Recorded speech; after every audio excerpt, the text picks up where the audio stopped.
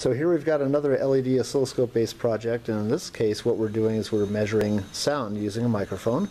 We've got a MSP 430 microcontroller doing the sweep function. We're actually having it generate an 8-bit output through a, a R2R ladder network to generate an analog sweeping voltage in a sawtooth wave shape. So the voltage ramps up and comes down to zero, ramps up and comes down to zero. On the analog horizontal axis, of course, that drives the LEDs from left to right and then back. So go ahead and flick the microphone and you can see wave shapes.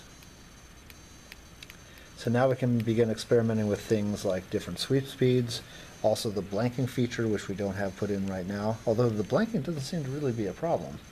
Uh, the retrace going back must be so fast that it just doesn't, we don't catch it with our vision. But yeah, it's down to fine tuning at this point and adding extra features, but the basic functionality of the circuit is working. We are actually showing sound waves detected on the microphone on the LED display, and our microcontroller is doing what it should. Awesome.